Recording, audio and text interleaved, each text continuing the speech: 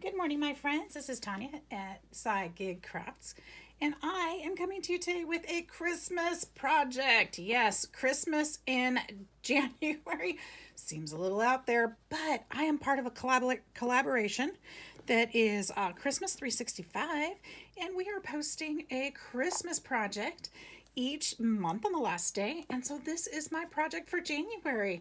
So, so excited to be part of this collaboration and to be getting some of my Christmas crafting done early.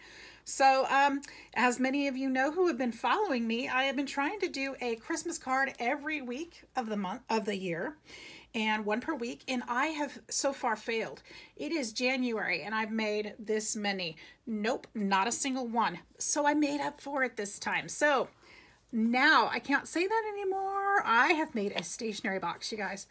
I am loving this. And I made it, so it's a Christmas project, but I didn't want it to be too, too over the top Christmassy because I know sometimes people will want to leave um, something like this maybe out on their desk after the holidays. And I don't want them to think that they have to put it away after. So I'm still getting the glue strings out of there. My apologies. So I made this little beautiful little flower out of some fabric in my stash and put these little gold balls in there for the center to make a little poinsettia. I got a knob from the shed and put that on there for a great handle.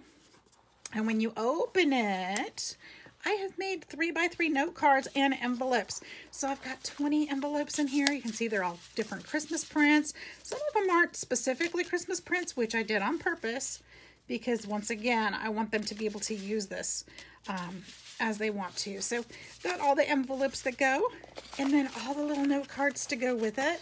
I'm going to be adding in some, probably some stickers and um, so that they can make their own little note cards. They're all blank inside. And um, I'll put some little jimmies and things in there so that they'll have some little things to decorate their cards up with. So um, this has been a fun project and looking forward to more. Uh, like I said, it's going to be a great, great way to um, to get my Christmas crafting done early this year. And we've got a long list of wonderful creators and their their links are in the description box that are going to be participating as well. So I hope you go over and check them out. Check out all their wonderful projects, all their wonderful ideas all year through and maybe you can get your Christmas done early too. So wishing you all a wonderful day and I will see you in the next video. Take care. Bye-bye.